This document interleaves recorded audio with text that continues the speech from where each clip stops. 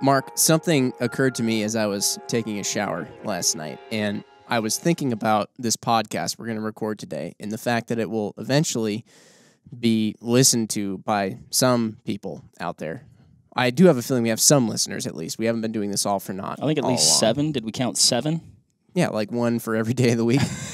so I thought about this and it was like I was standing there and I, I kind of thought our podcasts that we've been recording, Mhm. they're they're out there, right? They're like they're like in the air. Yeah. You know what I mean? Like like sometimes when you sit there I almost like feel like I need to swat them away because at any point in time I can pull out my phone and start listening to a podcast, but my phone isn't connected to anything. It's just it's just there. Right. So there's like podcasts in the air. They're everywhere. Yeah. It's like like bugs. They're attacking. You can just you can just bing. There's also YouTube videos and it's crazy. At any point in time, At any point in time, it's just kind of like, oh, yep, right there. Boop. And then a podcast comes from the air somewhere, from Vortex, materializes inside my phone, and it, and bam, it plays. complete enlightenment. Sometimes my phone even talks to a ca- my car without being connected to the car, and then the car, and then it's it's traveling. It's sending podcasts through my. Uh, uh, yeah, actually, I got to probably ask you some technology questions with that, Jim, because I can't get my phone to connect to my car. uh, as as uh, as to be expected. So um, anyway, that little thought for you out there. If there's any tech tech wizards out there that want to tell us about all these podcasts that are floating around us right now, please do. Uh, with that said, we have a guest on with us who is arguably one of the most brilliant people I think that I've ever met. Uh, his Wow. name is Mike. Mike, we're going to allow him to introduce himself, but I want to make sure that you know I. I don't know what his introduction is, or if he's or if he's planned it out. But I want to make sure that Mike doesn't do the whole kind of like uh, doesn't go too humble on us here, because Mike Mike is an impressive person. Mike's a collector of binoculars. You, you could say he has he has more binoculars than anybody I know. Uh, he knows more about birds and a lot of other things probably than Insects? anybody. Uh, yes, and, and insects really Yes, sir. Yeah. than anybody really I've ever met. Um, and I can't remember what the other thing was. Oh, didn't you used to do like you did like astronomy back in the day too? Astronomy and astrophotography. Yeah, and uh, really good digiscoper, and he's been with this overall entity company uh, for how long, Mike? 30 years if you count me as a customer of Eagle Optics prior Wow. to my employment with Eagle. That is awesome. Yeah. And you've seen plenty of changes. And one thing that I hope you do get into when you introduce yourself is is that as you mentioned when you were a customer and then working for uh, us with Eagle Optics and everything, big time into birding and like you mentioned some of the other uh, astronomy and things like that. And you know now being with Vortex, you've begun your entry into the shooting world as well. So that's pretty cool. Which is very interesting, I think, as someone with my background. Um, I've always had an interest w- since we got into it um, in 2002 when Vortex first started, and then um, really got more on the scene in 2005 and 2007. I was so engaged with Eagle Optics that I just didn't have much opportunity to get more involved in in our rifle scope side of things. But since we um, disbanded Eagle Optics a couple years ago, I've had a lot more time and opportunities to take up what I think is so far the most enjoying aspect uh, of rifle scopes is long distance uh, precision uh, Yeah. shooting. So That's it's very fitting. I remember when we when I heard that you were getting you know you're getting a rifle built or something like that. I remember thinking to myself, this is something that Mike's gonna all of a sudden just like little did we know, just we're gonna be hanging out, and one day we're gonna realize Mike is the smartest precision shooter and just like most amazing precision shooter. Not in yet. The building. Not yet, but it's gonna Yeah. happen. It's just gonna be like one day we're gonna wake up and be like, oh my gosh, Mike is the go-to person for precision long range shooting. As I've gotten to know Mike over the years, the one thing that I feel like I've come to grasp is he both feeds things. Like if Mike gets into something, like he gets into it. Like you're Mhm. talking about astronomy, birding, like to the nth degree. And I feel like you're on your path there to long range shooting. And I also feel we were talking about we had a little bit of Star Wars talk here pre podcast. Oh my gosh. And I feel like we've brought not necessarily from the dark side, but we've brought Mike from the dark into, into the light. Because big fans of all our birders out there too. we almost got him to agree. Actually, I'm sure he would have agreed, but then we were like, well, you might scare some people uh, to do the entire podcast in a Star Yeah. Wars Well, I think. Yeah, I think um, kind of the the thing that bridges all of those interests together is my love of just optics. Mhm. I got my first astronomical telescope when I was ten years old. I was I uh, my grandfather gave me his telescope um, before he passed away, and I still have it today. Um, he used to use it in Nebraska when he was a farmer, just for ranching and stuff, so he could uh, have uh, an optic to see things far away. Um, so optics have just always fascinated me since as a as a little kid. And my first venue into using optics, a telescope, was astronomy. And I'd always been into astronomy, even through high school. We had an astronomy club, and I never got to be president of it, but I was vice president. It was more fun anyway to be the vice president because you could goof around more. Oh, right, Yeah, I didn't have to take it so seriously. Um, and we went on field trips. We had a planetarium at our high school. So I had a, a long career, a personal interest in astronomy. And that's why I got involved with Eagle Optics in the first place, as being Oh, a, that a was what brought you a- in. yeah, a regular customer when um, your dad decided to bring uh, astronomical optics into the store. Um, he had Tom and Jody. I don't know if you remember those. Oh, yeah. uh, Jody. Uh, were really into amateur astronomy, and we had in Madison anyway. There was a uh, an astronomy club, Madison Astronomical Society, which I was a member of, and so it all kind of connected up. Um, and I bought my first serious astronomical telescope from Wild Birds Unlimited before there was actually like an Eagle Optics. yeah, so that goes back to the that? 92, 93. Yep, somewhere that sounds about range. right. I wasn't even here. Yeah, right. And um, and then that interest developed into astrophotography and photography in general. And I took that, uh, no pun intended, as far out into space as I could by doing photography of galaxies and star clusters and nebula that are, you know, millions of light years away.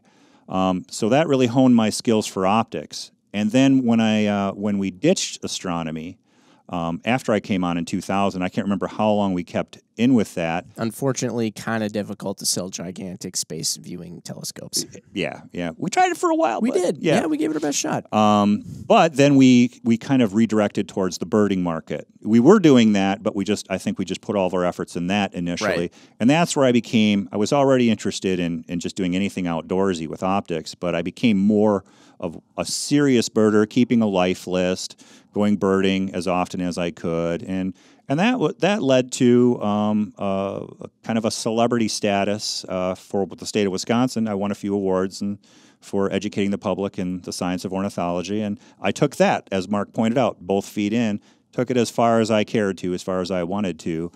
And then uh, when Eagle Optics um, dissolved, then, well, I still love optics. I still want to use optics. We still do binoculars and spotting scopes and other things. But now it's time. This is my opportunity to get into rifle scopes. Pretty so that's cool. where I'm at now. That's awesome. That's awesome. It, it, it is truly impressive. How many species of birds are out there? Worldwide, about 10,000.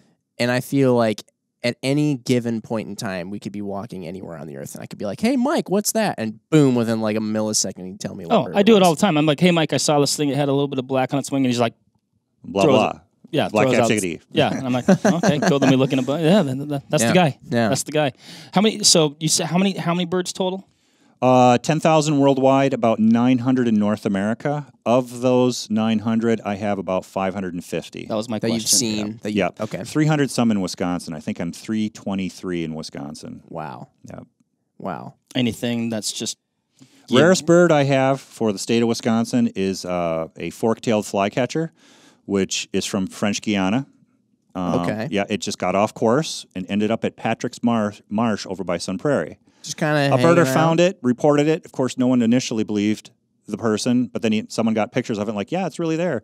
So it was me and Marty. You remember Marty, who used Yeah. to work for us? We actually left work uh, Oh, this is early. a huge yeah, deal. yeah, s- to go find it, and we did, and uh, that was probably the rarest bird I've ever seen. That's cool. anything anything out there that's on your list that you're like, man, that's like that's the. What's your unicorn? Well, the nemesis bird, as as it's called in birding, for Okay. me is is actually not a super rare bird in the southern part of the country, but it's sort of rare in Wisconsin. It's yellow crowned night heron, and it's it's kind of like a snuffleupagus type thing. If you're familiar with the Sesame Street character, Okay, that sure. it's never there when other people only Big Bird sees it. But if Big Bird says, "Hey, Mr. Snuffleupagus is here," no one else can ever find him because he he always. So yellow crown night heron is a bird that gets reported, but if I go there, it's nowhere to be seen. Okay. So Okay. I can leave five minutes later, someone will find it. I can go back five minutes later and it's gone. So I've, like- I've missed this bird over and over and over. And embarrassingly, I've been to Florida six times and South Texas six times, where the bird is can be found all year, and haven't been able to find one. So That the, a nemesis. The point is, is if you want to see a yellow crown night heron, just don't follow me around. Let me ask you this because we just had a did a little quick talk on the the Sasquatch. Do you think you're actually going to be happy if you saw it, or do Well, you I would be happy. Yeah. You would? Yeah, I think that'd be cool. okay? It's not quite Sasquatch level. Well, I know, but Bigfoot, sometimes, whatever sometimes you know, you you, kind of have this thing that's out there, and it's always, and then all of a sudden you find it, and then it's over. we should talk about binos. Okay. Sure, whatever you, whatever you're into. Let's talk about binoculars. Uh, Mike, we brought you on here because you know binoculars very, very well. And, um, you know, binoculars are something that uh, they can be complicated. They can also be very simple in, in many ways, especially when you look at them compared to like a rifle scope. A rifle scope, there's so many different features that can be essentially bolted on or attached on to just the optic itself, whereas the binoculars really kind of strip that away to just to really just come down to being an observation optic. Um, but a lot of people ask us questions because there are different configurations, there's different models, there's different levels and tiers. Uh, we had at uh, Ohio Huntsman podcast. I remember he was asking us on Instagram about, you know, what's the best binocular configuration to get for somebody, you know, who doesn't hunt out west of the Mississippi. You know, that those kind of aspirational mountain hunts. Um, and then you still, on the other hand, you have people who are going on those big western hunts and they're going to be seeing these vast expanses and they start wondering to themselves, you know, like, well, do I just keep getting bigger magnification? Do I do I want to go for the bigger objective? Uh, is optical quality how high in optical quality do I need to go? Um, and you can ask those questions until you're blue in the face, and still there's just a lot of different binoculars to choose from. They all kind of look generally the same too, which doesn't always help. You know, rifle scopes sometimes have different knobs and bells and stuff. That's kind of oh yeah, I know I want that. Um, so Mike is going to help us break it down a little bit. And Mike, if you have somebody call up and they're they're talking and they they call up and they say, "Hey Mike, I need a set of binoculars, but I'm not sure what to look for." Like, where do you start generally with somebody? What's kind of the the anatomy of a binocular that you go through with them? Uh, yeah, how does that go? Well, I think one of the uh, one of the things I, I like to do in this podcast is kind of demystify some of the things that I I think that um, not only um, the buying public might be uh, unsure about, but even other industry people. Um, so, one of the things that um, you want to ask a customer is, what are they going to use it for? Now, I know some people think that one of the first questions you should ask is, how much do you want to spend on a pair of binoculars? Which Right. might not always come across as the most uh, in, inform, informationally gathering question that you can get from them. Because in a lot of cases, after you explain what binoculars can do, they may be willing to spend a little more money, knowing what the limitations are, either by glass quality or aperture size or magnification. We'll get into all of that. Um, you know, for I don't know if you want to. For people who might be completely unfamiliar with binoculars, Yeah, do you want to even go go, over like what a binocular basically is and the yeah, parts some of the basic parts and whatnot. Yeah. So really, a binocular is just two telescopes connected together that are optically aligned, so you can use them stereoscopically with both eyes. And you look in the eyepiece or ocular side, and the opposite end that you point away from you. Those are the objective lenses that gather light. AKA the aperture, right? The aperture, exactly. And then, in in uh, uh, reference to that Far Side cartoon, I think it is, with the huge mathematical formula on one side and the result on the other, something magic happens here. Something magic happens between the objective lens and the eyepiece. It's light transmission. How much light can you get through the objective lens, through another section of glass called the prism block in the middle of the binocular, and then the eyepiece, which is comprised of different lens elements. How much of that light can exit out of the uh, eyepiece that can get into your, your eye, into your pupillary opening? And light too. This is one thing I think I've maybe mentioned a couple times, but I, I like to mention it because a lot of times people when they think of light, they just think of they think of light as just brightness. Like uh, almost like you can just dial it up or dial it back like it's almost an intensity or something um, you know because you turn on the lights when you're in your room or in an office or something like that you turn on the lights and usually they're just bright white light to to shine light on things um, you know but light also has when you just look at a wall like i'm looking at a wall across me right now and it is a green wall. It's green because of light you know Correct. and, it's, and like the wood is brown Yeah. because of light and the different wavelengths and things Without delving too much into physics, we can say that light is both uh, a particle and a wavelength, and it gets reflected off of surfaces. So the green that you're seeing is actually reflected light that originated from the light fixture that we've turned on, and that's reflected light. Well, with binoculars, um, it isn't so much collecting light is that light rays are everywhere in this room. Yeah. And those light rays are hitting the objective lens. And we want to get as much of those light rays in, as possible into the optical system so that we can render a, a quality, a bright image that's pleasing to the eye. But um, every time light hits a glass surface, uh, something good can happen and something bad can happen. And you might hear that a lot in my, um, my presentation on binoculars, is I'll say, like with magnification, more is not necessarily better. Whenever you change either the aperture size or the magnification, something good happens and something bad happens. Well, the bad thing that happens when light hits a glass surface is some of it gets reflected off. We don't want that to happen. The good thing that happens is some of the light gets into the objective cell and through it, through the mm-hmm. lens. And that's sometimes sort of misrepresented as collecting light. It's just light is entering the optical system. And we want to keep that light and we want to get it through the optical system undistorted. Yeah, yeah. And so a lot of times when people are looking at a binocular to get, some of their, I would say, we kind of narrowed it. We were talking about this a little bit earlier. I, we kind of narrowed it down to four big things that I think people look at, which is, you know, you see this magnification. So if it's 8 by 42 binocular, that 8 means that you're magnifying everything you look at eight times. Right. They look at, you know, optical quality. How good does that image look to my eye?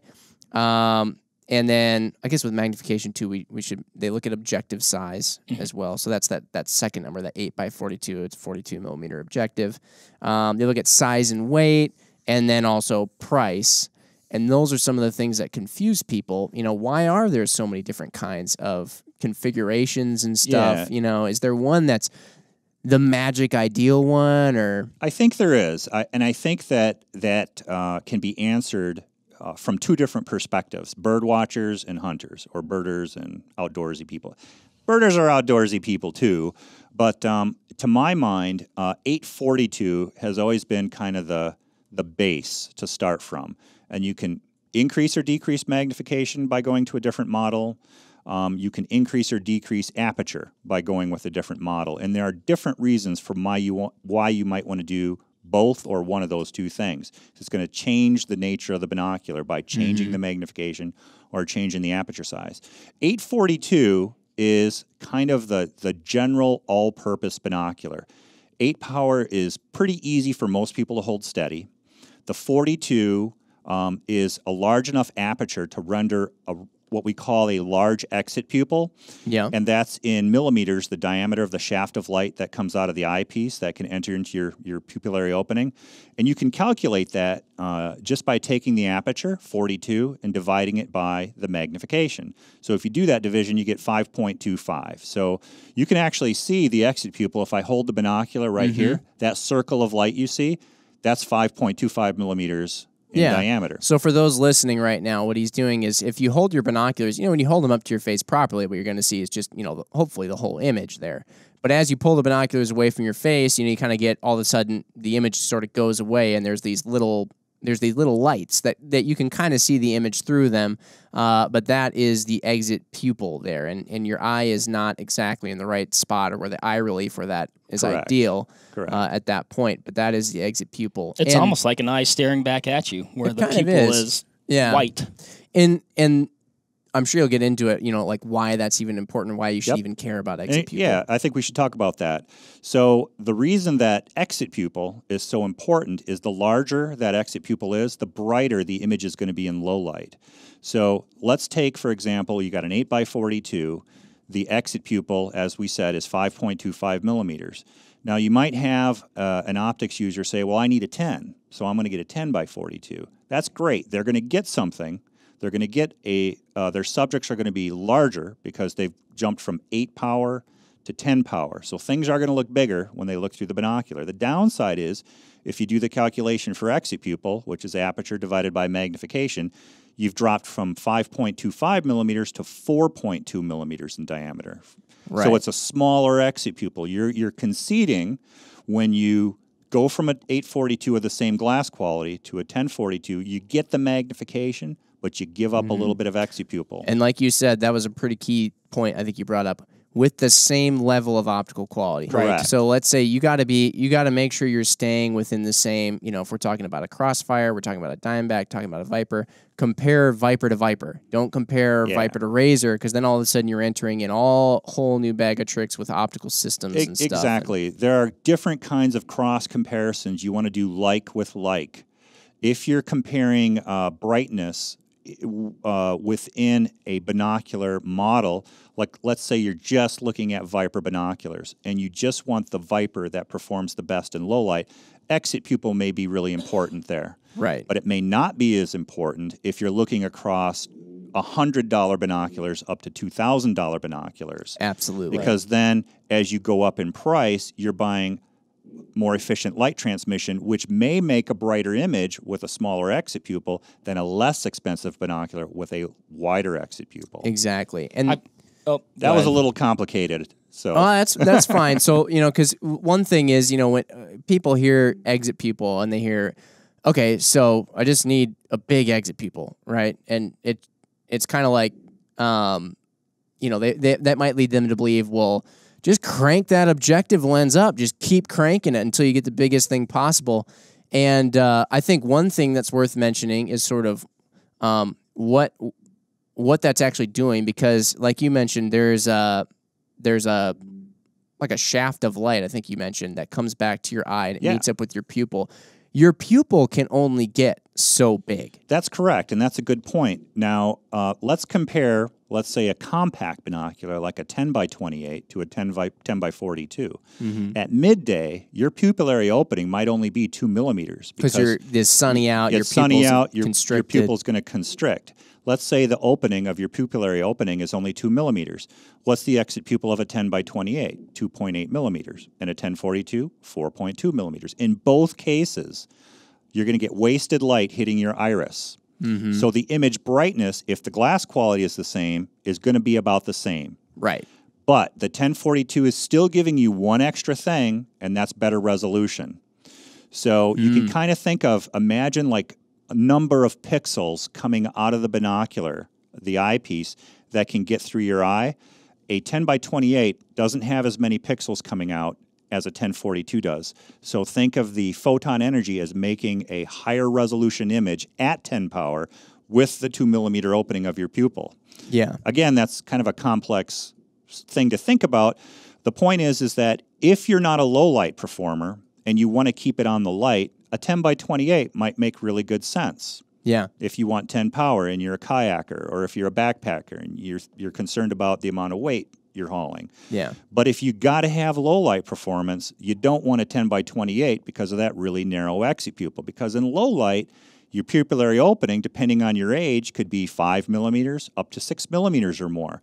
And in that case, your, your pupil is going to allow the 4.2 millimeter exit pupil, all that light to enter into your eye, and the compact's going to have 2.8 millimeter shaft of light entering your eye. Well, clearly, glass being equal, the 1042 is going to look a lot brighter than the 10 by 28 because of that exit pupil uh, difference. right we were discussing exit pupil we kind of went zero to 60 on you there a little bit because we went from beginning to all of a sudden exit pupil and mathematics that you're actually doing to, to calculate that It does kind of go to show you, though, how all these things are connected and how there are these trade offs in optics. Anytime you change one little thing and you think you're going to just, oh, just think, make that one change and it's perfect. Oh, nope, everything else is affected. Uh, but Mark, you were you were really uh, you were wanting to come in there with a question. I could tell. Well, so you, what was it? You covered you covered the one thing that I was going to ask because I was going to ask if there's you know you're talking about you know the amount of light that can enter your, your eye, and is there like essentially a point of diminishing returns where if you had like this giant exit pupil, like is that necessarily better? So we Right. covered that. So my other question though, and Mike Mike brought up a comparison, and we're talking about you know wanting to make things you know apples to apples when you're comparing, you know I guess like items. But we also brought kind of an apples to oranges comparison up when you were talking about a higher end bino being able to compensate because of its you know superior optical design, maybe superior materials for um, have, for having a smaller exit pupil. So my question was, in a ten thousand mile long question, um, could it be a rule of thumb then, if if your budget only allows you to buy kind of like a, maybe a more entry level type binocular, should should you back off that magnification? Like, because you, recommended the eight power, I generally always use a ten for pretty much not everything, but that's my go to, I guess. I'm, I'm going to answer that question a couple of ways because I don't think there is just one answer for it. A common uh, uh, misconception uh, out there that I hear is is that a person buys an 8x42 binocular, let's say it's it's $100, and they've been using it for a couple of years and they they feel like they need something better now. They've developed whatever it is their interest is, whether it's hunting or birding. They feel like this binocular has taken me this far. I need something better.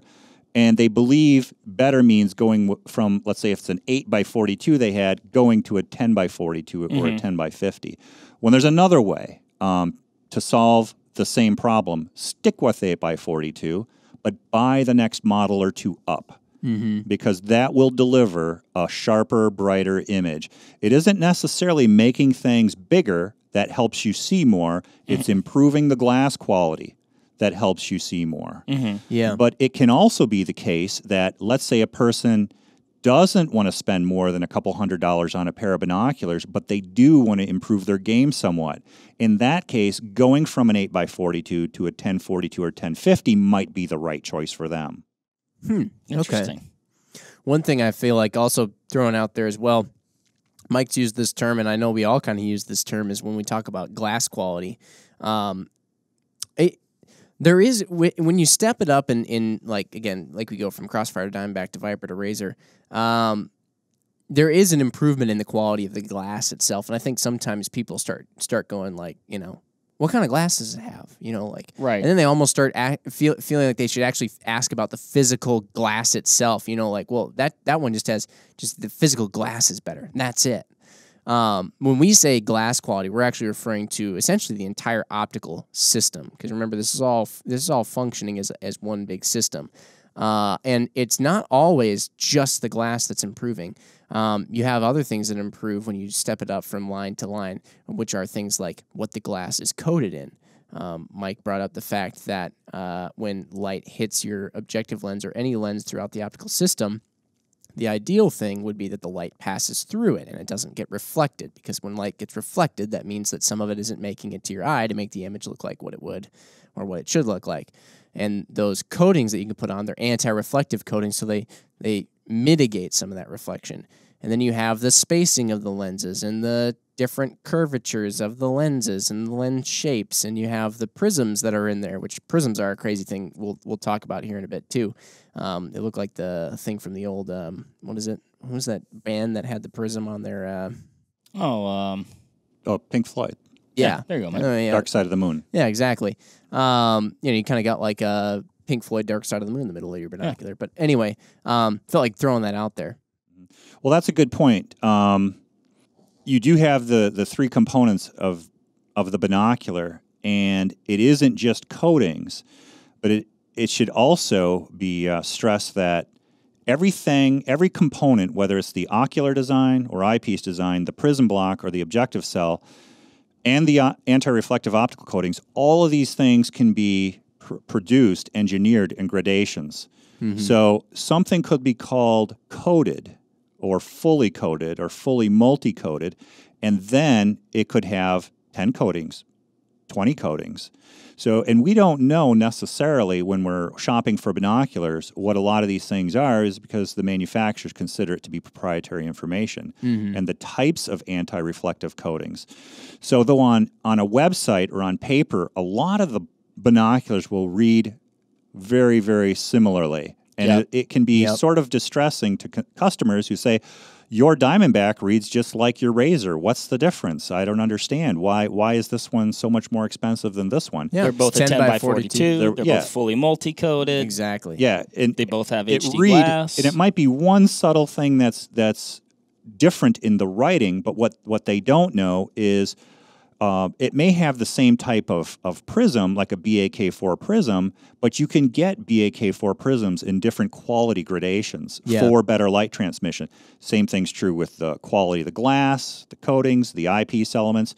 So generally, as you spend more and more money um, on a pair of binoculars, it's improving the entire optical system. Yeah, It right. might read very, very similarly. Like you might just find one additional thing.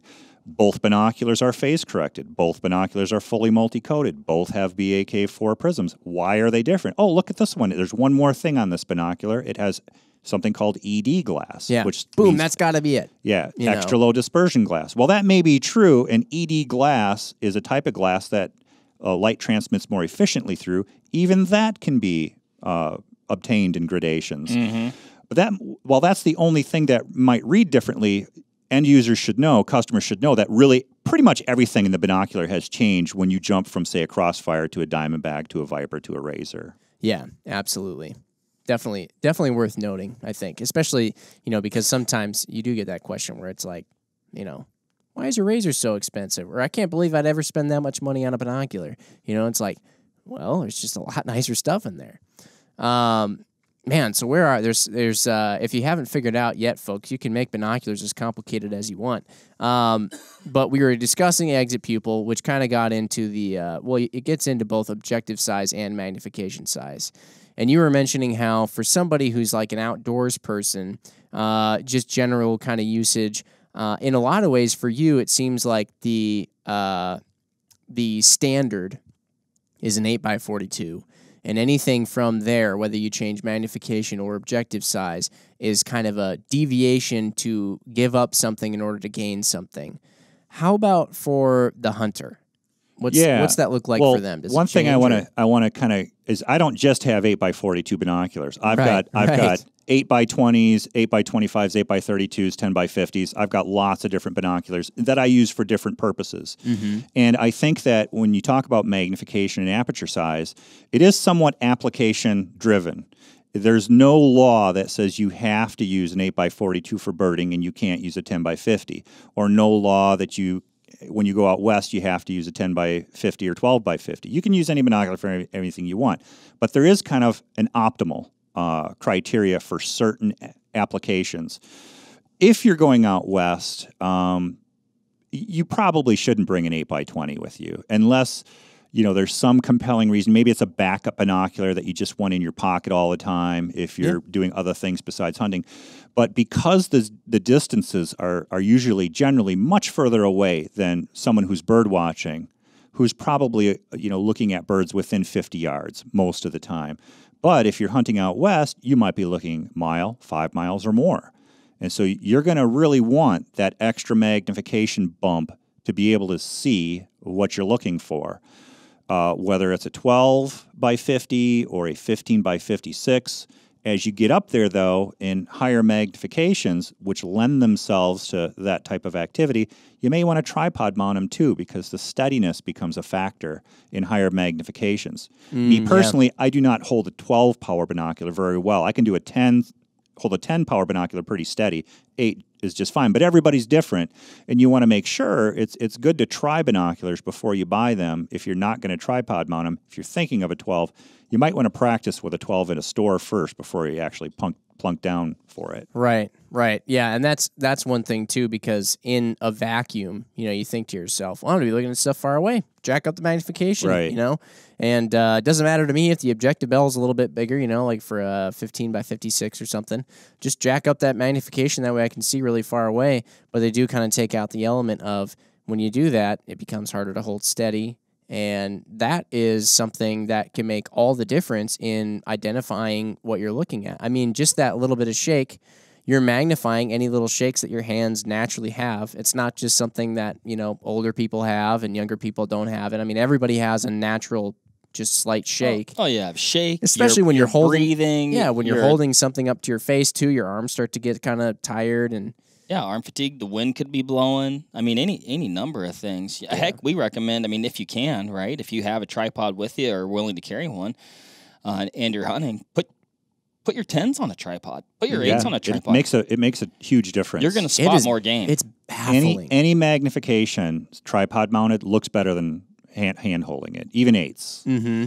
But I one time I did have a showroom customer who was so set forth on, set on tens, and then I had him compare model same model to same model, the eights and tens, and this particular individual could read signs with the eight that he couldn't with the ten just out of unsteadiness on Sure. the ten. Yeah. So Yeah. 10 is not always better if you can't hold it steady. But if you tripod mount it, then it's a level playing field again. Yeah. The extra magnification is going to give you uh, larger objects that you can study and, and see well. Yeah, you And the- take your own error sort of out of the yeah. equation. You let the binocular Yep, do the work. exactly. And there's little tricks you can do too. I'm sure you know a lot of them, Mike. As far as like, oh, you can you can if you've got a, a billed hat on, you can you know you know kind of grab the top of your bill uh, and kind of brace your hands on that. You can suck your elbows in and you know brace them on your chest. I mean, is there anything that you found that works really well? If there's a tree you can lean up against, that'll help you stabilize the binocular, or you can get into the prone position. If there's a rock or something, something you can lean against um, that can help you study the binocular. So you just you know be aware of your surroundings, see what there is that you can use. If you don't have a tripod with, you can maybe use um, you know a feature of, of something on the ground to help stabilize your your view. a walking can stick, even even a, a even a stick with you, trekking monopod or a, pole, yeah. or a, s- a trekking pole can help you stabilize a binocular in a pinch. Mm-hmm. Steadiness is, is pretty huge. So for you discussing to somebody who's going to be who's going to be hunting, what are you suggesting to somebody knowing also too? I mean, I guess in, in many ways there's a different suggestion you might make for the guy who's out in Ohio, Pennsylvania, uh, versus the guy who's in Utah, Montana, or bow Wyoming. hunting versus you know or bow hunting yeah. versus rifle hunting too. Even how does that go down? Well, generally, my experience has been not a bow hunter myself, but they'll usually want a smaller binocular, like a 32 millimeter or a, a compact, to have it out of the way of their chest. So something that isn't very prominent in front of them to get in the way of what they're doing. So I think uh, you know a smaller eight by thirty-two or ten by thirty-two, which we have in our Diamondback line, Mm-hmm. um, is a is a good solution for a bow hunter. But um, and that and I would say that that can be dependent on location as well. There may be um, applications even for a bow hunter where they're going to want a larger aperture Yep. binocular.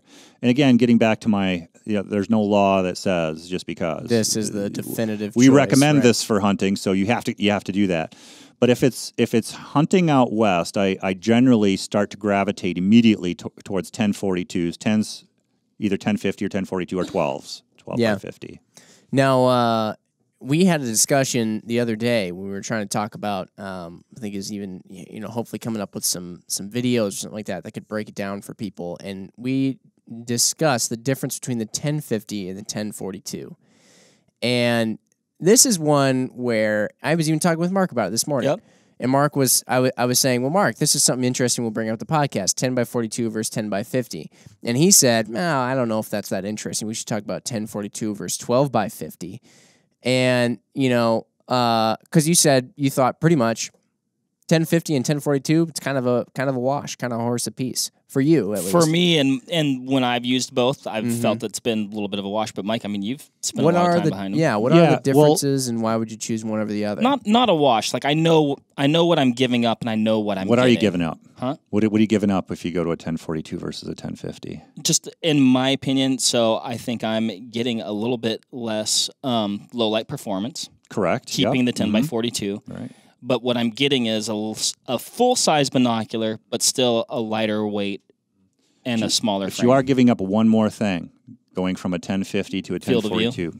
Not necessarily. Um, resolution, optical resolution, which is detail at distance. Your ability, let's say you had a 1042 and a 1050 of the same glass quality. The 1050 is going to give you better distance resolution because of the larger aperture. Remember the photon energy thing I was talking about pixels more there's Yeah. still more information going into your eye through Okay. the 10 by even if your exit pupil is constricting blocking some of the light Mm-hmm. you're going to have more detail out of the 10 by 50 so not only does it give you better low light performance but it's always even if your exit pupil is your pupillary opening is blocking some of the light for your iris um, you're still going to have more detail to look at more information more ability better ability to see things at distance out of the 10 by 50 now there's downside is it's larger and heavier that's again getting to there's always going to be a trade-off Yeah. Give and take. give and take. Now, it, getting to field of view, generally speaking, uh, most 1050s uh, will have a slightly narrower field than your 10 by 42s, and that's because is always baffling. yeah, Yeah, that seems there's- counterintuitive. Yeah, people tend to think that the aperture size, the 50 or 42, is the field of view, but it's merely just the diameter of the objective lens in millimeters. Yeah. But what actually constricts the field of view is the length of the binocular. There's like an upper limit to. It's like a, the cardboard tube effect. If you have a short cardboard tube and you hold it up to your eye- your eye, you can see more through it than a really long cardboard tube. Oh, okay. The yeah. physically longer the binocular is, the less maximum field of view you can get out of it. Still, the uh, manufacturer can tweak the eyepiece desi- design to get a wider field of view out of, out of a 10 by 50. You'll note this in our Viper line. Our Viper HD 10 by 50 has a slightly wider field field of view than our 10 by 42. Hmm. That's kind of an exception out there. Generally speaking, 10 by 42s will have a slightly larger field of view. Yeah. Well, correction. That was quite interesting. Yeah. Suck it, Mark.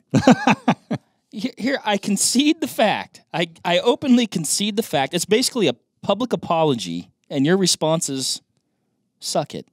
okay. I see where we're at. I guess I do feel kind of bad about it, but I'm No, gonna fine. I'm gonna stick with No, my it was, word. I, I think it was a You know, great. I'm still going I'm to gonna stick with stick suck with it, it. though. I think it was a great Um, question. It was a great question. And can you talk about, even though this is maybe kind of going in the weeds, can you talk about Twilight Factor? Because I this was one thing where I was like, what? Yeah, there is a, a an optical index called twilight factor, which is computed by multiplying the magnification by the aperture. So take it 10 by 50, multiply 10 by fi- 10 by 50, and uh, take the square root of that, and it'll give you a number like 18 to 25, somewhere in that that ballpark for most binoculars. Um, take a 1042 and a 10 by 50. The 10 by 50 is going to win on both exit pupil and some this thing called twilight factor. The larger the twilight factor is, the better that binocular does in discerning contrast in low light. Say the 10 by 50 is better? The 10 by 50 is going to have a larger twilight factor. Now, here's what you're thinking. I thought the 10 by 42 was better at that. Nope. Um, it's it's be, if you figure it out, the math, you'll see. Shoot. So take 10 by Well, here I was take 10 times that I was gonna- 42. Yeah. No, there's I know where you're going. Okay. We'll do that with the 12 by 50. Oh, okay. Okay. We're just showing you first that the 1042 and the 1050, 10 times the 1050 42. is the winner. Both both ways. For, uh, well, I So didn't the do 1050 that. is the winner. Square root of 500, square root of 420. All right. Square root of 420 is 20.49. Square root of 500 is 22. Okay, yep, you're right. 22. Now do now do uh, a 1250. All right, square root of all right, 12. This is embarrassing. 12 times 50 is 600. I didn't have to do that. All right, square root of 600. 24.49. which is bigger than the 10 by 50. Yes. Even though the 10 by 50 has a narrower exit pupil, the extra magnification helps one to see a little bit better contrast for moving subjects.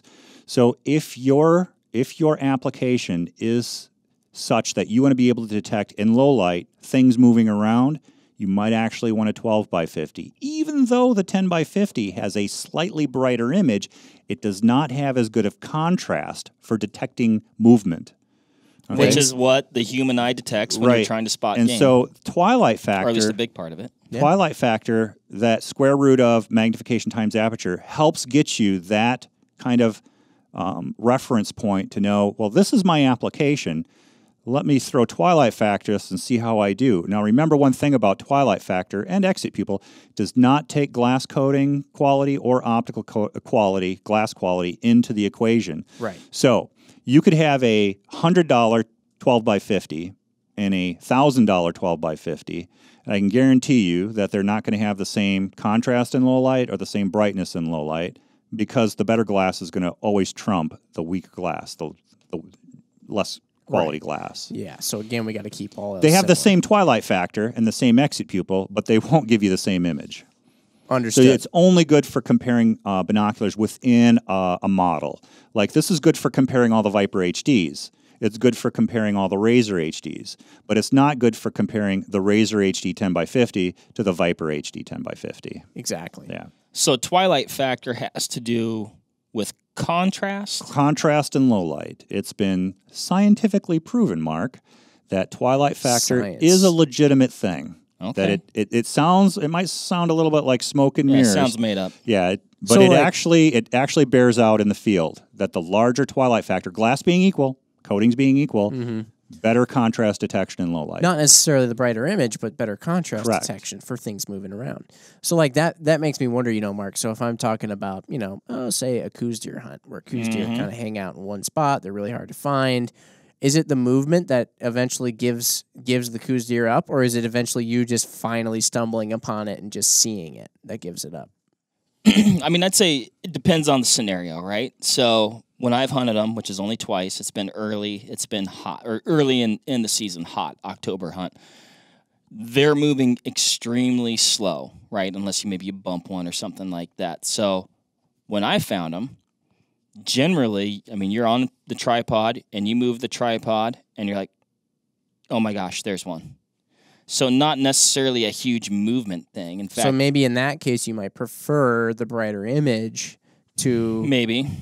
But then also, also in that case, you're glassing those buggers up at oftentimes pretty extreme distances where that Mm. extra magnification is going to be an asset. okay, all right. I don't know. Like everything is so Everything is situational man. and give and take. Everything's a trade off. Have we just made it more complex for our customers to pick binoculars? I hope Yep. not. So Um, so all right. Well, that's just it with binoculars. You can get at the very you can take it from any any angle. You can have it as less complex or as super complex as you want it to be. yeah. So What is it? What is it really like when you're talking? Because you talk with a lot of people on the phone. You've helped tons of people find the right binocular for them. You have pretty much every binocular I feel like ever made in your house.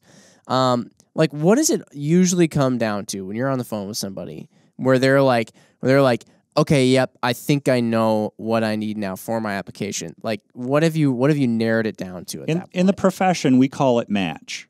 And the first binocular you buy might not necessarily be what you match well with. Mhm. Which is why I think it's important, you know, kind of digress a little bit, to buy a binocular um, from a place you can return it to. If you notice right away within the first couple of weeks of owning it that this is not one I, I can really use, this is not going to work for me, that you can go back to the to the dealer and say, hey, I tried it, you know, this isn't going to work. What else have you got?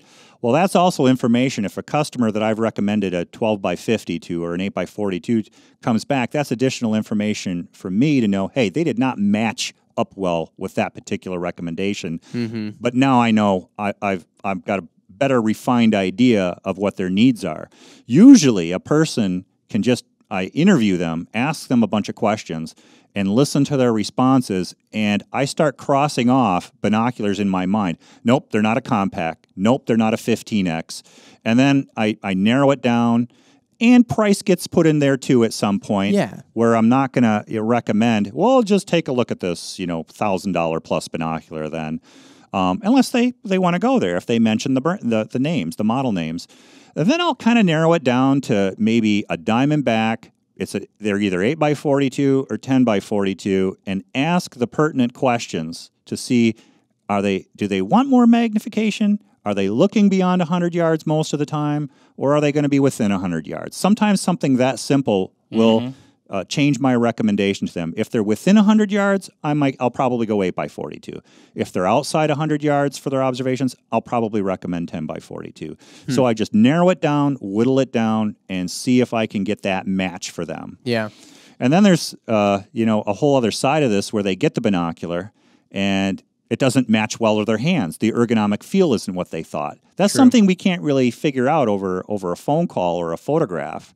Um, you know, an online ad or something. So sometimes someone will get a binocular and just say, "I just d- didn't like the way that it felt in my hand." Yeah. So back to the drawing board on that, but the good thing is is you can always come back to the drawing board. Now a guy like me, if he if he gets a binocular he doesn't totally match up with, probably keeps it anyway and just adds it to the collection. So Um, and you you brought up too, you know, where this is one of the unfortunate things. I know I've been asked this a lot, and it's it's been expressed to me as a frustration for some people, and I can't really blame any party exactly. But when you go into most dealers, a lot of times you're under nice fluorescent lighting. It's midday, you know, because that's when they're open.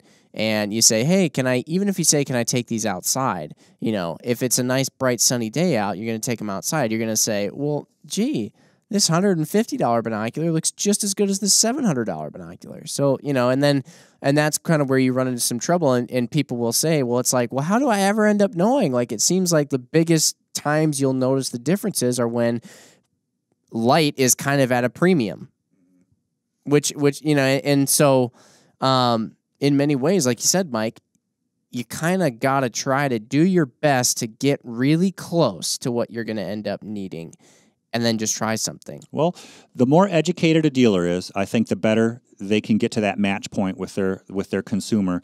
I think the an opportunity the customer has to look at further distances is important because it is true that you can take inexpensive binoculars and really expensive binoculars and look at something 50 feet away and there might not be that much difference in the image for mm-hmm. something that close under that kind of you know fluorescent lighting you might not notice some of the subtle things that can change when you're outside or in challenging light situations so i think the customer does have to kind of keep that in mind when they're at a store where they're where they can't take them outside and really use them to know that that's not always the full story of how that binocular is going to perform in a real life outdoor situation Yeah. Yeah. What about a resolution chart? I think if you have one, it can help to bring one to a store that you can set up maybe 50 feet away. The problem with that is, is you really want to be able to stabilize a binocular um, to really notice a difference on a resolution chart, even Right. at 50 feet. If you're even if with an eight, it's hard to really pick out the lines of resolution on a on a resolution chart to know whether or not one's performing better than the other. That is true. Yeah. I should actually maybe actually can you describe a resolution chart? We just kind of brought that up as like something that people might know about, but I would never have known. Yeah, I guess the before I got classic model is the 1951 Air Force resolution chart. You can Google it and see what they look like. Um, the two most important areas for me on it are the pinwheel, um, which I use to check for color aberrations, and the various vertical and horizontal lines of resolution, which are numbered. And I try to see the very smallest lines of resolution. I want to see if I can split the lines. I can still see that's not just one big thick line, but I can see with the binocular that it's comprised of three vertical lines or three horizontal lines. Yeah. Um, there are other aspects of resolution charts that I don't pay as much attention to, but the black and white pinwheel is a good one to check for what we call chromatic aberration, which is the purple or green color fringing in contrast areas. Yeah, exactly. And that's just from a less efficient optical system.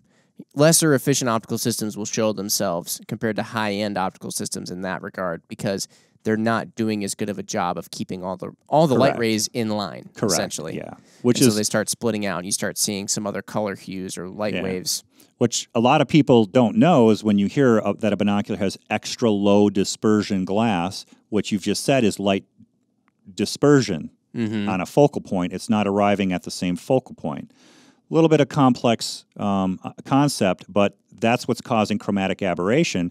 The color fringing, not all the waves of light are arriving at the same focal point, but if you use low dispersion glass, it decreases the dispersion, sharpens up the optical image because you don't have the color distortion. Yeah. Yeah. That's why it's important to have extra low dispersion glass or some other type of special glass that eliminates the color fringing. And when- Right. so and then color fringing presents as like so if a person was to look at something and see color fringing, like what would be a scenario where they might see that, and Probab- then what does it look like? Probably the most common t- uh, mo- uh, time someone reports it, they'll call us up and say, "What is this?" Um, is if they're looking at tree branches without leaves on them, like in the wintertime or something, and they look up at the sky and they see these tree branches, they'll notice on one side of every branch there's a purple glow, and on mm-hmm. the opposite side of the branch there's a green or yellow glow. They see it for the first time and they think there, there may be something defective with their binocular. What they're seeing is completely normal. All binoculars, all binoculars have chromatic oh. aberration. Oh, there's that voice. Yeah, they have. Even the world's best binoculars will have some chromatic aberration. This color, this color fringing. Just some take almost all of it out, but you can still find it if you look for it. And each human is differentially susceptible to chromatic. I might not see as much as you do. You might not see as much as as me. So. Um, it, I can guarantee you it's there in every binocular. Where you don't want it, where you want it the least or don't want it, is in the center of the field of view.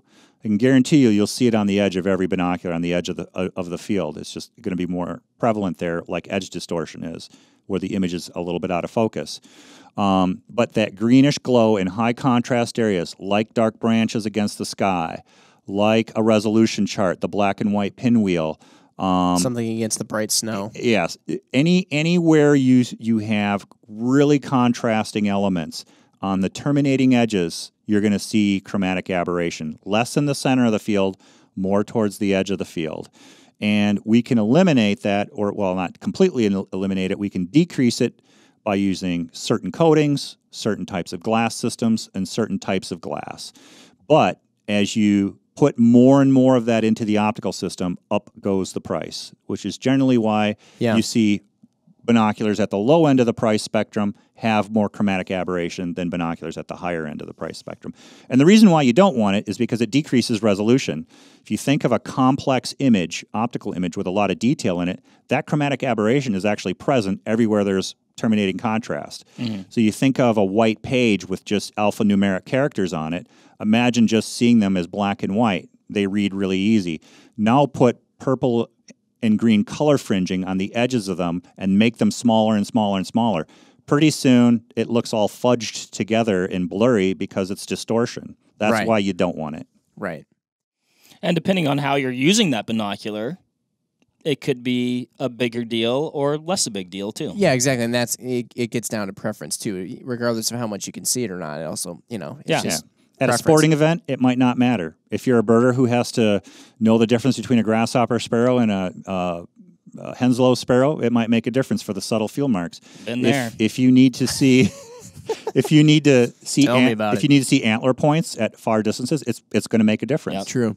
We're kind of getting into optical quality uh, here, and it brings up one thing that I'm sure we're going to get asked a lot because at the time of uh, this recording, or I actually should say, at the time this recording will release, we will have released as well, like a Diamondback HD and the Crossfire HD.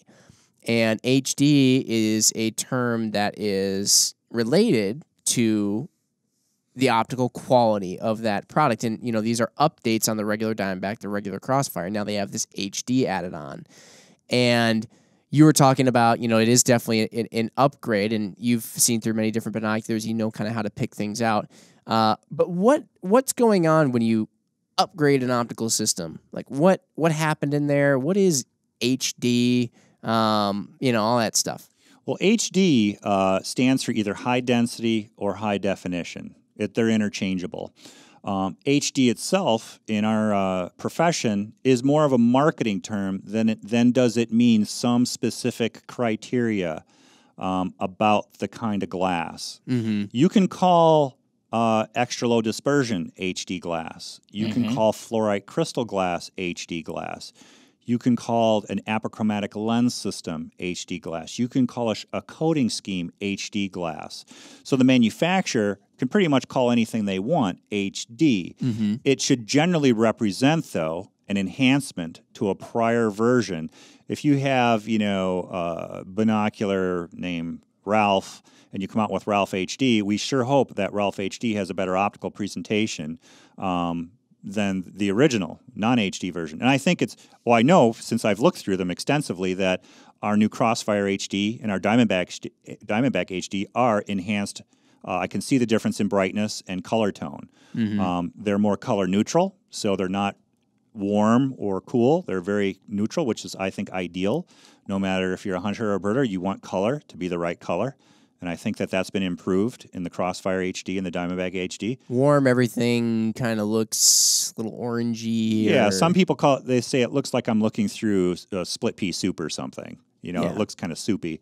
And cool, uh, it, it, the whites tend to look blue, kind of bluish. Yeah. Where neutral, it when you put the binocular down, the color shouldn't change. It should when you put the binocular back to your eye, the color should stay the same. That's what we mean by color neutral. To me, the the new HD binoculars we have are very color neutral, so they do a lot better job on color tone.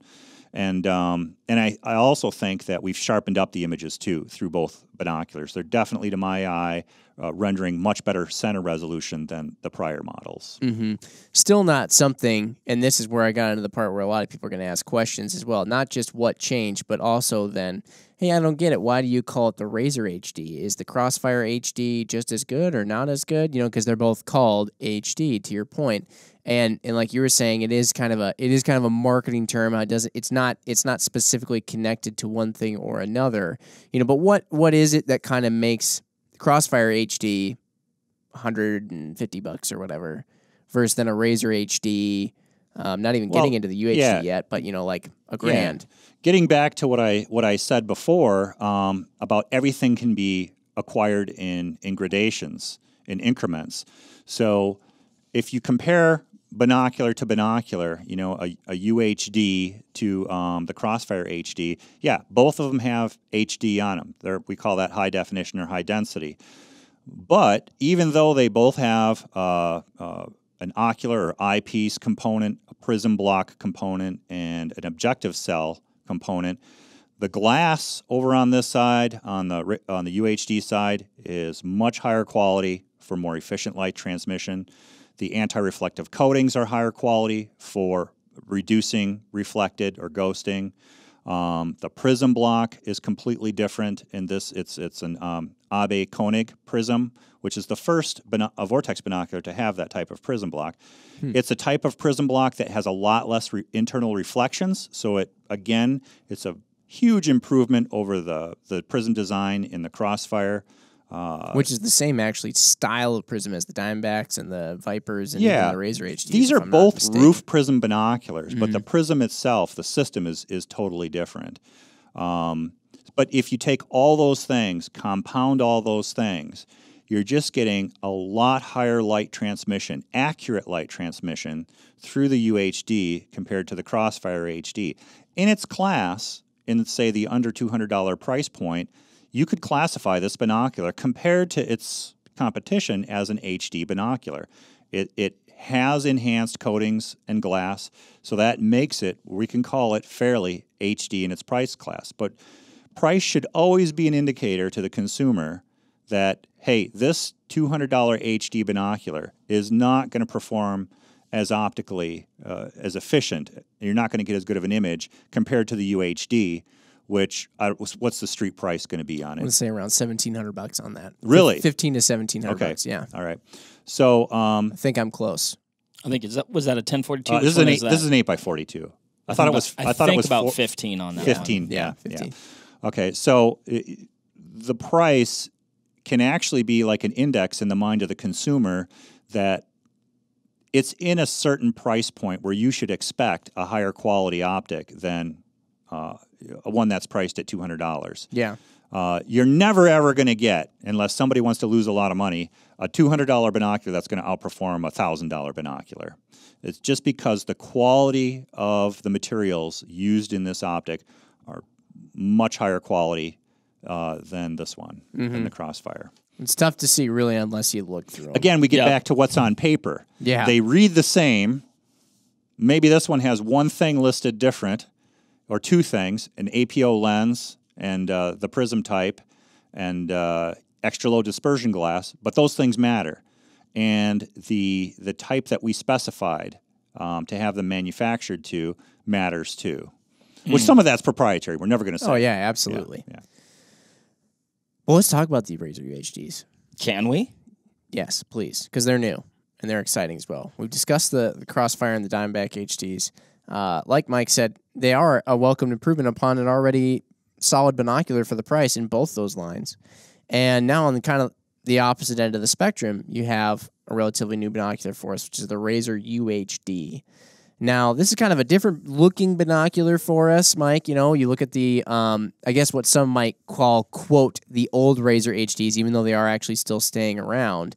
Um, we actually have, for example, the 50 millimeter. These are a 12 by 50 Razor HD, regular H- Razor HD, sitting next to the Razor UHD 8 by 42, and we can see that actually even the UHD is a little bit bigger. Um, so you know, you see that it's a little bit larger. It's got kind of a different curvature to the uh, not not dramatically, but just a little bit different shape to it. Um, what's going on with these? What you know? Yeah, you the- the mentioned reason- the A- Abbe Koenig or whatever Yeah. prism, and These have um, this. The Razor UHD has um, Abbe Koenig prisms in them, which is a longer prism block. Okay, and that necessitates the binocular to be longer and a little bit larger. Okay, they're going to be a little heavier. They're going to be a little bit longer, but it's a much more efficient pris- prism than I believe uh, the HDs have uh, Schmidt-Pechan prisms in them. okay, Um, so the different prism type renders a different configuration in terms of size and shape, and it's going to deliver much more efficient light transmission. And in addition, we've not only changed the prism block, but we've changed the glass and the coatings as well. So everything about the UHD is an improvement over the HD. mm-hmm. And, seeing is believing. I mean, I, I used a UHD um, throughout April and May for my birding, which I still do in, during spring migration.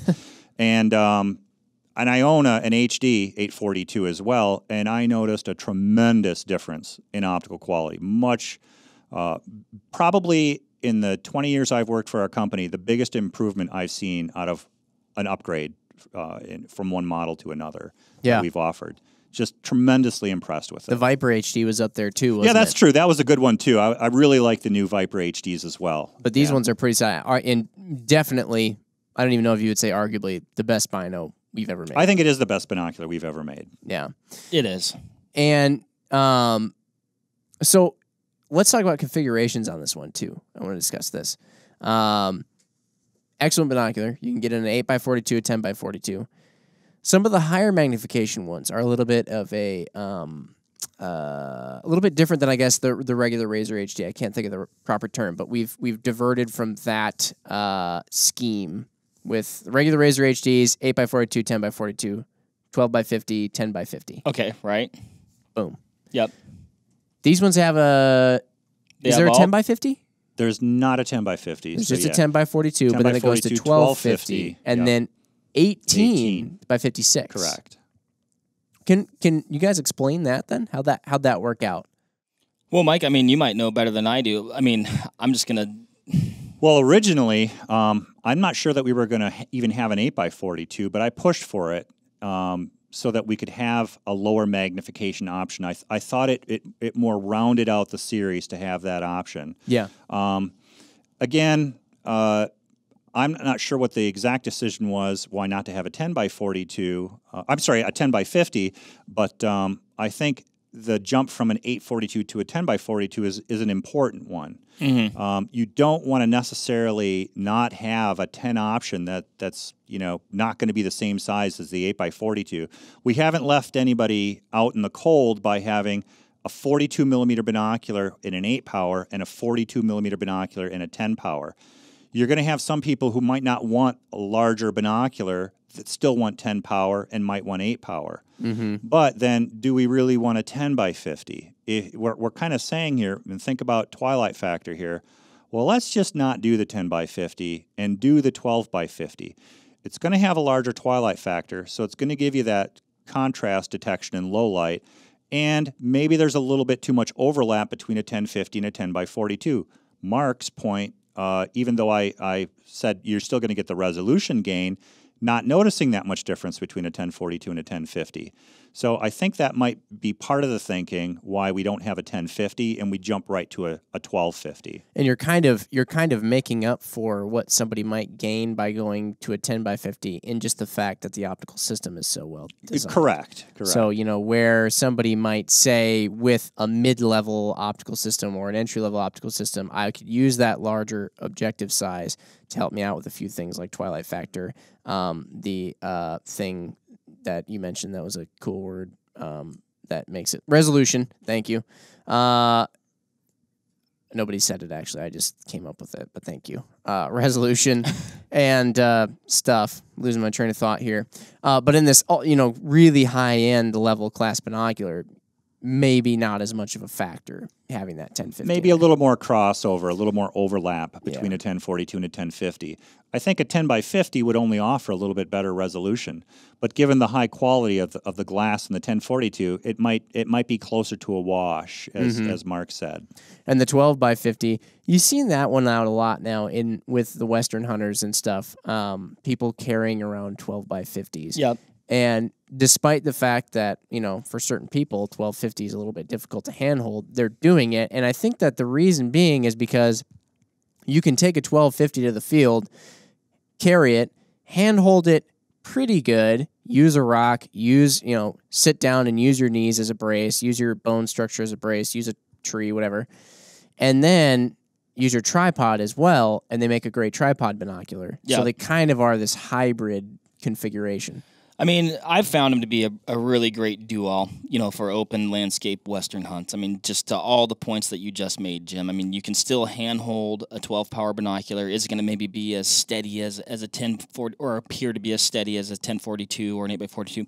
Maybe not, but I think if you know some tricks of the trade, you can definitely, you know, get around that. And like you said, it doubles up. I mean, um, it, it's just, it's kind of a workhorse duo, Yeah.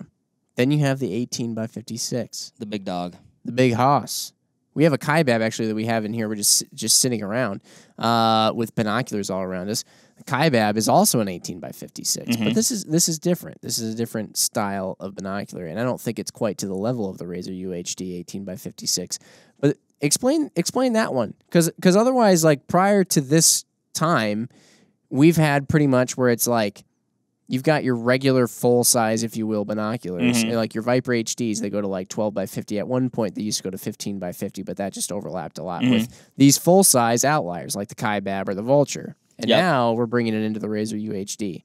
So it's kind of, we wanted to have that ultimate level tripod specific, not even hand holding this one. Although, unless you're Remy Warren, who apparently hand holds them like a boss. I was going to bring that up. Yeah. Um, tripod bino, just like the So- ultimate one. I mean, if you look at the history of the Kaibab, right? It started off as a 15 by 56. with a 20 also, right? Or was well, it only 15? A couple years down the road, we added the 20. So we kind of had those running congruently. We were, we offered a 15 by 56 and a 20 by 56. I used both pretty darn extensively. Uh, really liked both of them, but with some of the things that we've talked about with that decreased exit pupil, you know, all things being equal, as you go up in magnification, um, the low light performance on the 20s was just, it didn't really compete with the 15s. I think we found a really awesome middle ground though with that 18 by 56. It seems to kind of blend the best qualities of both those binos, you know, into what is now the Kaibab 18 by 56. Definitely uh, a, a binocular that's purpose built for tripod glassing. Now, of course, we've introduced uh, this Razor UHD series, and just to just to piggyback on what Mike said, I got the opportunity to use those binos, uh, predominantly the 10 by 42s, used the 18 by 56s uh, a little bit on on an Idaho bear hunt this year.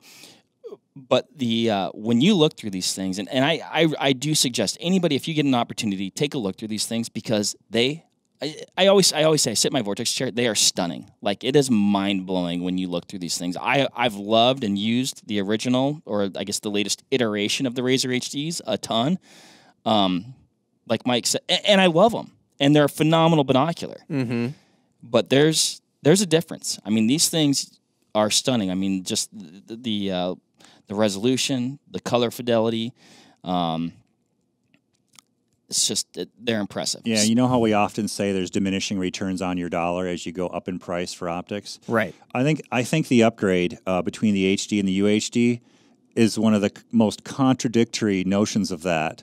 That you're really getting a lot more for Yeah, the extra what, money in this case, which is difficult to it's do. It's not a little get- jump. Yeah, It it's not a little jump in optical quality. It's a pretty big jump. It is. Yeah, it's it's like I know it's like every time I get used to telling customers, you know, like, oh, it's this really simple rule you follow. You know, it's like generally the more you spend, the better you're gonna get, but it's it's harder to keep eking out more and more quality once you get to that high of a level. So you're gonna spend more money, but you're not gonna see as huge of a jump up as you did maybe in the lower to mid levels.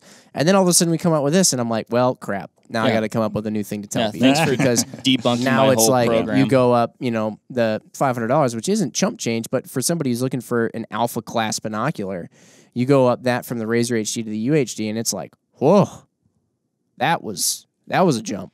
If you can scrape it together, it's worth it. And if you can't, you still got a hell of a bino. Tag, that's the tagline. it's basically uh, going to dead or eat ramen for the the UHDs. Yep. Um, but even even still, for what they're competing with, though, when you consider what they're competing with, still even even up to double the price. As you guys both know, um, when I worked for Eagle Optics, we sold our competitors' brands, some of the European brands, and I'm tickled having shown this binocular to a few showroom guests now um, uh, at our at our Barneveld location, um, where people hold the binocular up to the, the UHD up to their eyes, and the first thing they, they say is "Wow." Yep.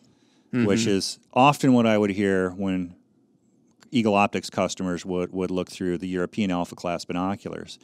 So I, it just, I'm really grateful to hear customers look through a Vortex binocular and have the first thing they say is just wow. Now, I've heard that on the HDs before too, here and You there. even hear it sometimes on Yeah. like the most entry level the, thing that you the have. that- Viper too, yeah. Yeah. But um, people that I've shown the UHD to so far have just been blown away by its optical quality. yeah. Their initial impression is just wow. It's astounding. Yeah.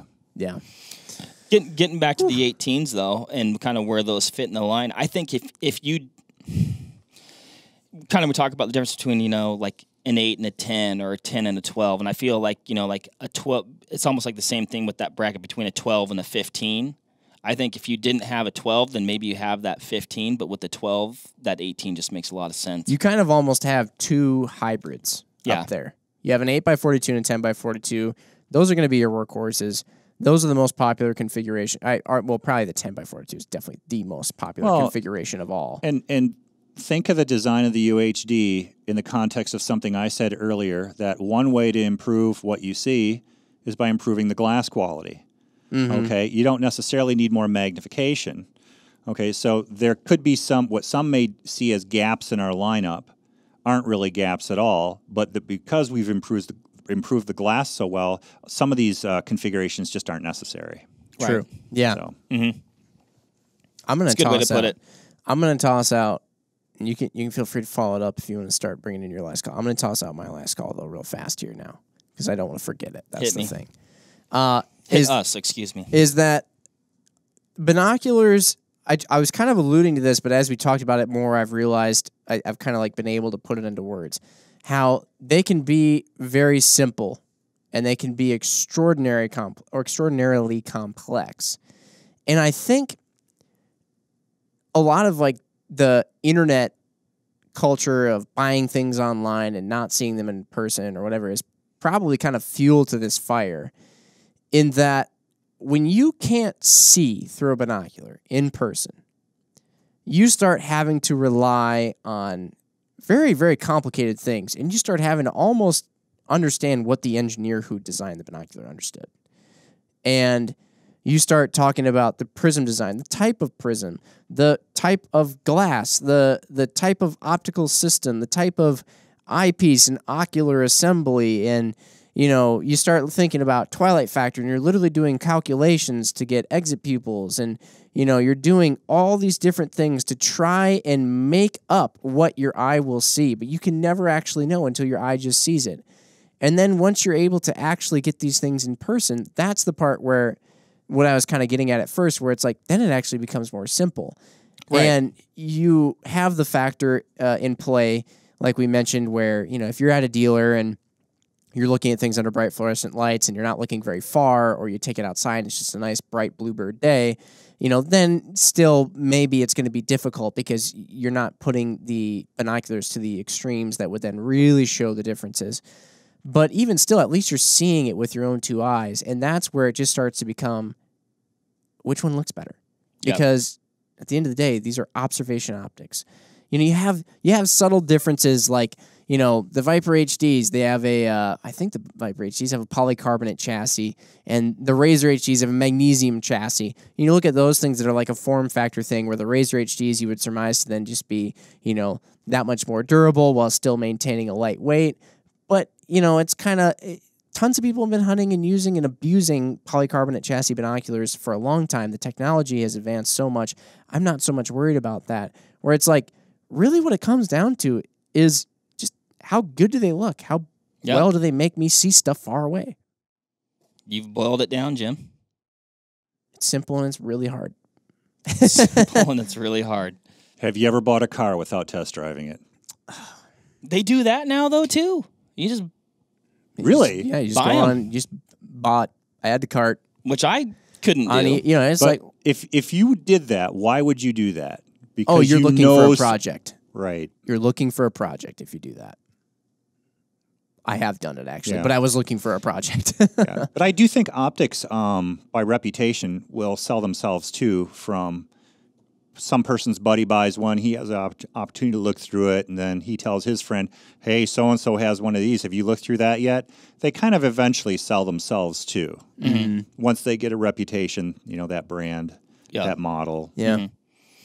I'll just, I guess my last call. I'll just piggyback on what you said, Jim. And, and I'd say if, if a person's looking to buy a binocular and you know maybe they're debating between uh, brands or configurations, if you can carve out the time and and find yourself a, a sales associate that'll take the time to work with you, go to that retailer at those slightly more critical times. You know, probably late in the day, and uh, and see if you can't get like models on a tripod and go back and forth and pick some subjects to to look at and and really make that comparison during those times where you are more likely to see the differences between those binoculars. Mm-hmm. And the further you can away you can look at something, the better comparison you're going to get.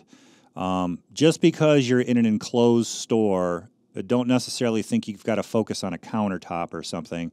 You know, look around you and see how far. What is the furthest thing inside the store I can actually? That's the distance you should be looking at if you can't go outside and, and look through Right. them. Yeah. I hate shopping for binoculars. It's awesome. That's what I'm thinking right now. It's like, I, it's like you both love it and you hate it because it's like You can so excuse me, great and complex. Which is why I have to work here to be close to the source. Exactly. If you have, if if you ever just wonder things, just call and ask for Mike McDowell. He'll let you know. He will. Um, Mike, did we miss anything? Slash, would you uh would you do us the honor of of closing closing us out with uh with an awesome thought? An On- awesome It thought. can be mildly related or it can be about Star Hmm. Wars. Your choice. Gosh. I've never really done a podcast, Ex- so extra points say for relating Star Wars to optics. Somehow, yeah. Oh, well, Luke Skywalker first uh, notices Princess Leia's ship under attack through the use of an optic. Oh. I don't think it's a binocular. I think it's a monoscopic electronic device. But um, that scene was actually cut out of the, the final movie. But if you go on YouTube, you can find it. I was gonna say, how do you know about it? Yeah, wait, yeah. It's- It's in the book, okay? I read the book before I saw the movie, the original 1977 Star Wars movie. Was that a mistake for you? Did it ruin the movie or did it No, I was a total Star Wars fanatic. I was Okay. absolutely. you're in? Yeah. Um, but uh, yeah, you can actually find uh, a bunch of cutscenes, including that one, um, on YouTube. Amazing. But no, I I uh, I don't know that I have any any uh, profound advice. I think Mark's advice: go to a retailer, uh, spend some hands-on, some eyes through time looking through different models, and uh, do your own side-by-side comparisons. Um, and another thing is, uh, if you can't do that, something at least our old retail entity did is we allowed our customers to buy two or three different models so that they could do their own side by side comparisons and return the ones that they didn't want, keep the one that they thought worked the best. And I'm not sure what other retailers might do that today, Yeah. but Right. we, we did that. And uh, so I think that's a, a, a kind thing to do if there are retailers out there who will, who will do that for their customers. But uh, the more opportunity you have, friends who have different optics. Uh, one other point that I'll make is, is if you're really in a quandary, um, if you call Vortex and you can get some someone like myself or maybe Ryan who's looked through a lot of glass, if you can even name one binocular you've looked through, I have a Sure. I have a reference point from that perspective. Yeah, that's where true. I might steer you in a recommendation. That's true. If you've never looked through anything, we have no commonality to say that this thing is this much better than that, or Yeah. you know. But if you've looked through just one, even a competitor's brand, chances are I've looked through it. What's the most obscure binocular you own? I have. It doesn't have to be Vortex. I don't even know the name of it, but um, a relative gave me an antique binocular that's on my fireplace mantle. It's just an old Galilean binocular from maybe I don't know the eight. It might even be an antique uh, of some worth. I don't even know. I've never bothered to check it out. I would have to say though, um, my most valued optic is my grandfather's telescope, which is a nice little brand's. Bra- uh, bra- uh. It's a brass collapsible uh, telescope Oh, cool. that um, I think you know that sits on my shelf in my bedroom, and I've got it on display. But if you ever come to my my place, which I'm never going to reveal the address for, um, I've got a lot of optics on display. I was just gonna say, if the FBI ever raided Mike's place, they'd be like, "What is this guy doing?" We got a voyeur. yep. All right. Well, hopefully, I don't know if we made it more complicated or less complicated. Maybe at the end there, we made it less complicated could- to buy binoculars. Yeah. Uh, but Here, here, here's the simplification. If you're a birder, think 8 by 42 If you're a hunter, 1042, 1050, 1250. It's really that simple. Smaller binoculars like compacts, very specific. Hiker who's thinking about weight, backpacker, back, backpack across Europe, kayaker who wants something small around their neck, compact binocular. Large format binoculars, astronomer or someone who wants to tripod mount a large format binocular to look at vast distances. It's really almost that simple. Thanks for clearing that up, Mike. thanks, everybody. All right. We'll see you next time. Happy hunting and shooting. Bye. Bye. Bye now. All right, that'll wrap it up for this episode of the Vortex Nation podcast. Thanks everybody for listening. Hit that subscribe button so you can always stay up to date on the latest happenings over here at the Vortex Nation podcast. You can also follow us on Instagram at Vortex Nation Podcast. Again, everybody, thanks and happy hunting and shooting. We appreciate it. Have a good one.